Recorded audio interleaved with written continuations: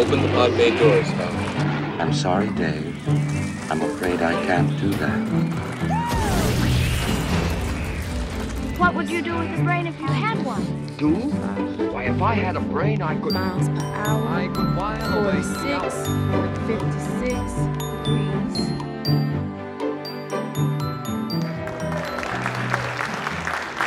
I'm so pleased to be here. It's, it's my first time in a movie theater for two years. so it's. Uh, so, and, and I'm behind the podium. So combining both my passions, teaching and movies in one. So I'm very happy. So thank you for having me, Beth, and, and the Coolidge Corner audience. So, so let's start with the title, um, Sorry to Bother You. So as a linguist, I was struck by, by this film because this is the first sentence of a script of a sales speech that the main character, a telemarketer aptly named Cassius Green, also known as Cash. So you have to recite this when he, when he calls customers. Um, but as I said to his natural voice in the movie, my hunch is that you know, his, his voice, his natural voice, his dialect of English can be understood just fine. Yet Cash is advised by a more seasoned salesman that he should use his white voice so he can make more sales, so he can become a power caller and move up the corporate ladder. In this case, the ladder is an elevator to the penthouse. So Cash needs the cash. so he's got to use his white voice in order to make it. Okay? So let's listen to, to his white voice. Okay, so I have, it, I have this cue here. Um, actually, so that's okay, I'll just play it from here.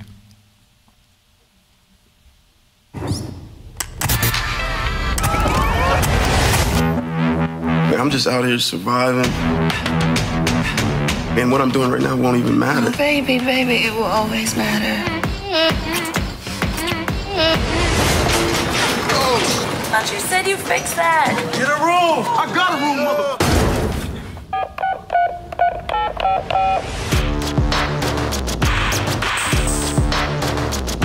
Hey, Cash, how much longer I gotta wait for my money? God made this land for all of us. Greedy people like you want to hog it to yourself and your family and. Me and my family? Yeah. Cash is, I'm your fing uncle. I just really need a job. 40 on two. This is telemarketing. Stick to the script. Hey, hello. Um, Mr. Davison, Cassius Green here. Sorry to bother. Let me give you a tip. You want to make some money here? Use your white voice. My white voice. I'm not talking about Will Smith's wife, like this young blood. Hey, Mr. Kramer. This is Langston from Regal View. As always, we'll be getting that out to you right away. You're doing so good with the voice thing. Holla, holla, holla, holla, holla!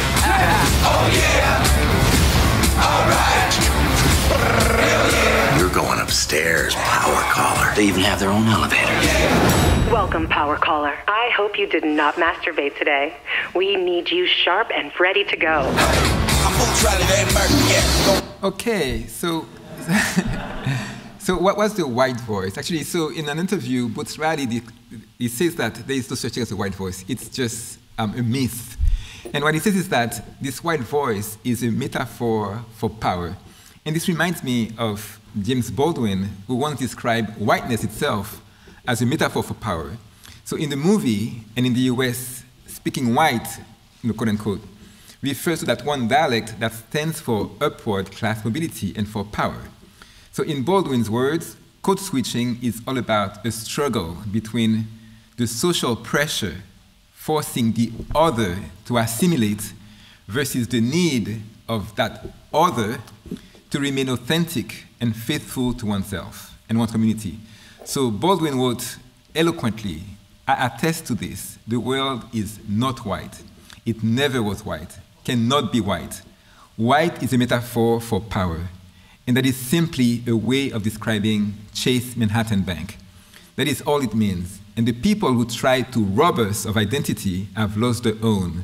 And when you lose that, when the people lose that, they've lost everything on which they depended, which is the bottom of the moral authority. And the moral authority is the power to persuade me that I should be like them. But I have decided that I would rather be me than be like Maggie Thatcher, Ronald Reagan, or Teddy Kennedy. Now, in linguistic terms, what is the white voice? Well, the white voice, or speaking white, could just be a dialect, another dialect. On the scientific view among linguists, that everyone speaks a dialect, everyone here in this room speaks a dialect. So the idea that everyone speaks a dialect is often strange to non linguists, but this is the reality that dialects is all there is. Each and every language is made up of a variety of dialects and even idiolects, if you look at it from the individual perspective. So, as famous sociolinguist um, Weinreich put it, a language is nothing but a dialect with an army and a navy. So, James Baldwin and Boots Riley are right. The white voice is a metaphor, a proxy for both race and class. Both of these categories are socially constructed in order to control and oppress certain groups into assimilation and obedience. Stick to the script. And often, it's a script towards the failure of those that are made to feel other. So linguist Lippi-Green, Rosina Lippi-Green, has documented the ways in which this social construction of the white voice starts from the crib onward. For example, through Disney cartoons. Disney's choices of languages, language varieties, and images teach children how to hate others and themselves and to adore the white voice. This teaching to discriminate uses stereotypes that are often anti black, anti Semitic, anti women, anti queer. In the case of anti blackness, the stereotypes work by using black English speech patterns to consistently index the bad guys. In my own experience, this sort of hatred is promoted even in a movie, in, in a Disney movie like um, what you see on the, the top right, um, The Princess and the Frog, with black characters, but this time through stereotypes about voodoo. So white supremacy starts early. So parents and teachers beware.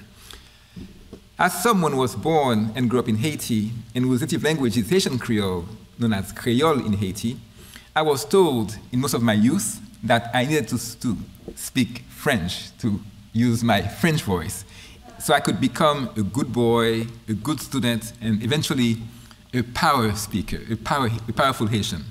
So this movie struck a chord in me, thinking of French in Haiti as the white voice.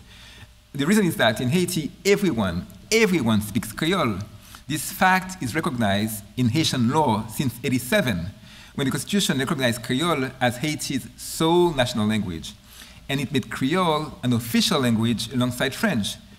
Note, though, that French in Haiti still remains the white voice, like in, like in uh, Sorry to Bother You, meaning that it's artificially constructed um, as a commodity. It's French that's constructed to be the main language of education, administration, justice, and so on. So, from the, from a tender age, um, Haitian children are, are, who are caught speaking Creole in the classroom are often told, exprimez-vous, meaning express yourself, as if Creole is not even a language. In some schools, there are even posters like this one that say, I must always speak French at school, otherwise I'm the gorilla of the classroom. This is to children who are you know, six, seven, eight, nine. All of this social pressure turns French in Haiti as a countrywide bluest eye, for those of you who know uh, Morrison's novel, The Bluest Eye. It's important to stress that this sort of linguistic discrimination is part of more general patterns of racial discrimination. The language issue is only one reflex of racism, systemic racism, and injustice. So, this photo on the top left is the cover of my diary notebook from kindergarten. If you've read Toni Morrison's um, The Bluest Eye, and if you remember the tragedy of the little black girl, Pecola, who wants blue eyes, what I'm saying here is familiar. Like most kids in Haiti, I grew up with images of white children speaking French as stanzas of beauty, of racial beauty. So in Haiti, the bluest eye syndrome, as described by Toni Morrison's work, affects an entire nation. So we can look at this white voice or French voice or bluest eye in Haiti from a social, um, from a social class and geopolitical perspective. So this perspective can help us understand the historical and political foundations of the racism and classism um, that you'll see in Sorry to Bother You. So let's, let's uh, watch this. So, so here, what you're going to see here are two presidents from France and from Haiti. And, and please pay attention to what they are saying. Nous avons évoqué les sujets euh, de développement en Haïti, les sujets politiques aussi. Sujets de développement parce qu'il y a euh, des coopérations importantes. Le président Martelly va rencontrer des entreprises françaises. Il y a à la fois euh, projet actuellement en développement pour l'hôpital, pour le développement des quartiers d'Haïti. Et moi-même, j'aurai euh, sans doute aller en Haïti ou l'année prochaine ou en 2016, mais le plus tôt sera le mieux. Enfin, il y a la francophonie, c'est un lien majeur que la langue française euh, nous permet d'avoir avec euh, Haïti. Et nous faisons en sorte qu'il y ait, euh, dans les lycées qui sont construits aujourd'hui en Haïti, le plus de- d'enseignements en français par des Français quand c'est possible, ou par des francophones, parce que nous ne voudrions pas que ce qui l'identité d'Haïti, la langue française, puisse se perdre. La question des élections, par exemple, euh, le renforcement du système éducatif en Haïti, parce que parler de reconstruire Haïti a à voir aussi avec reconstruire la mentalité haïtienne, l'homme haïtien, donc l'éducation, euh, qui est la promesse faite par le président à travers un partenariat où, par exemple, des, des professeurs à la retraite pourraient ve- venir à Haïti et nous aider à fournir l'éducation adéquate euh, à nos jeunes Haïtiens. Ce serait assez intéressant parce que ça, c'est un passage obligé, former des jeunes. Okay, so now this is another um, stage in that same process of hegemony, really. So this is Macron and Moïse. La francophonie est également un élément qui nous unit, Haïti faisant partie euh, justement des membres fondateurs, et je souhaite que nous puissions encourager la région de manière très concrète, et nous allons nous y employer des initiatives que vous prenez en ce sens. Vous pouvez compter sur nous. Nous sommes en train de travailler pour, pour que le français, comme nous l'avons si bien dit, qui est notre langue officielle, soit en fait euh, euh, une langue, la langue de la CARICOM aussi. So, so, so here, Moïse says that French is our official language in the singular, when we have actually two official languages, and, and Creole is the national one. So to, to fully understand why these two videos um, of French and Haitian presidents bear, uh, bear on, um, sorry to bother you, we have to go back in time um, to, to the history of Haiti, to colonial Haiti, um, to understand what happened in the real revolution in the 18th century that took place um, in, in Haiti. So, and that's perhaps, that slide here is perhaps the most important part of, the, my presentation. Because taken together, these two triangles that you see here, one for the whites in Haiti, owner, manager, overseer, skilled worker, and the one for the blacks, overseer, domestic slave, etc., um, they schematize a social structure of the plantation. And it's a hierarchy based on occupation um, in a capitalist system. So the plantation owners and managers are at the top of the hierarchy, both in terms of economic power and also political power. Then right below um, come the white and black overseers, also called commanders or slave drivers. Uh, and then it's the white skilled workers, also called petit blanc, little white. And then it's the enslaved blacks working in the, in the big houses on the plantations, the so-called house slaves. And then at the very bottom of this pyramid, you have the enslaved blacks um, on the fields. These are called often the bosal. So think of it from, from this issue of the white voice, switching from the black voice to the white voice, code switching. Um, the most interesting element in this, in this structure is the black overseers, who, and here I quote Jacques Arends, they occupied an intermediate position between the white owner and the black workforce. So, to, uh, so the overseer is the one that, that executes punishment, um, decides on tasks for the, for the enslaved um, Africans. And, and so these differences in power often connect with differences in language use. So among the blacks, the overseer is the one with the most contact with, with the white um, owners, the white colonists, because they have to discuss the management of the plantations together. And as you go down the pyramid, you have the, you have the, um, the, the house slaves and then those who work on the fields, right? And one key fact to keep in mind is that uh, often the black overseers, the black slave drivers, would be a quote unquote Creole, meaning that they were born in the colony and they had most fluency in the European language, in this case in, in French. And the ones in the, in the fields, they, would call, they, they, were, they were the Bosal. And often it was taken that the Creole had more value than the Bosal. In fact, it was even quantified that some, the, the, the Creole was worth um, five-thirds the value of the, of the Bosal. Um, so the Bosal was worth three-fifths of that of the, of the, of the, of the Creole. So, and now what we could do is to draw a third triangle um, of, of languages with French at the top, Creole in the middle, and African languages at the very bottom. So, and there's another key point to keep in mind as you watch the film is the fact that the overseer, even though they had authority over the other enslaved Africans on the plantation, even though they did benefit from the power structure, it's, it's them, it's the black overseers who would eventually play a key role in the Haitian Revolution. Perhaps the most famous of these overseers was Boukman. He, he was the leader in the Bois ceremony of August 1791 that launched the Haitian Revolution. And that's a revolution that, at the end of the 18th century, subverted um, the colonial system. We beat an army that was sent by Napoleon, and that launched the Black Lives Matter movement before there were hashtags. So, um, so now going back to the code switching um, from the black voice to the white voice, we must note that in, in, during the revolution, it's Creole, not French, that became the language of the, of, the, of the revolution because of its power to unite Africans from diverse ethnic groups and social classes into a new emerging nation. Dessalines that you can see here was one of the revolution's most formidable leaders, um, and he was Haiti's first chief of state. Dessalines understood very early on the importance of Creole and how the French language could be used to recolonize Haiti, as you could see from Macron and from Hollande. So Dessalines understood the political dimension of code switching long before the term was coined. And, and, as his army was fighting against Napoleon's army, which they eventually defeated, um, he stated, We have our own language. Why look for other people's languages? Um, and Dessalines was also a defender of the poorest of the population, the black Africans, um, descendants of the Bosal, who could not code switch, those who were being deprived of land ownership, while the quote unquote mulattoes who were, were claiming the rights to the land of, the, of, the, of their white fathers.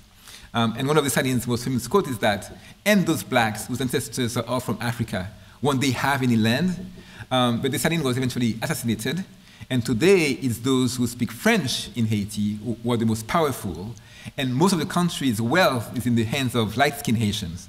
So ask yourself, will the story to bother you have a similar ending? So no spoilers. Um, so I'll take you to our efforts in today at MIT Haiti um, to try to repair this state of affairs. So since Creole was indeed the language of the, of the, of the revolution in the 18th century already, many of us in Haiti believe that Creole can also be can also bring victory to the people in the 21st century. So in the, in the MIT Haiti that I helped lead, uh, we, what we're doing, we're using Creole as the main tool for, for instruction, and, and the results are spectacular. So, so here, what you can see is just one graph with, um, that show you that using the mother tongue of the children gives better results than the millions of dollars that NGOs have invested in Haiti. So in this study, you have third graders who learn in French in schools that, that receive funds, say, from the World Bank, they read less than 23 words per minute. Um, while in the Matenoa school, a school where that, um, we've worked with, um, third graders who learn in Creole um, can read more than 60 words per minute. So with more time, I'll go into the details of this, but the, the, there's good news. Um, as the mother tongue model spreads to other schools, the results are spectacular, as we should expect from the perspective of linguistics and education, where learners' native language is a key ingredient for, for learning gains. So meanwhile, um, in the US, and to come back to the film, sorry to bother you, negative attitudes towards black English have been central in the movement against black lives. So this point is important because most supporters of the Black Lives Matter movement, even the most well-meaning supporters, seem unaware of the centrality of language in our struggle. So let's go back to the very beginning of the Black Lives Matter movement in Florida at the end of the trial of George Zimmerman on July 13, 2013. Recall that George Zimmerman was the one to kill Trayvon Martin. Um, so that's Trayvon Martin here. And Rachel Jeantel was the star witness for the prosecution. Jeantel was on the phone with Martin during the last moments of his life before he got shot by Zimmerman. Key linguistic detail Rachel Jeantel is a speaker of Black English, AAE, African American English. She was on the stand for almost 16 hours, testifying for the prosecution. But the jurors found her not reliable and, quote, hard to understand. And as Rickford and King, two linguists, report, no one mentioned Jeantel in 16 hours of jury deliberation. Her testimony played no role whatsoever in the decision. As they put it, Jeantel verdict was, Jeantel dialect, her dialect was found guilty before Zimmerman was found innocent, unquote. The reason was because she could not code switch to the white voice. So because of a lack of, of the white voice, she was deemed to be untrustworthy. So in my class at MIT, we often discuss how this analysis um, extends to courts worldwide, even in Haiti, where you know, the judges, the accused are all black, but using French is a denial of justice for Creole-speaking Haitians. So we have this very similar pattern.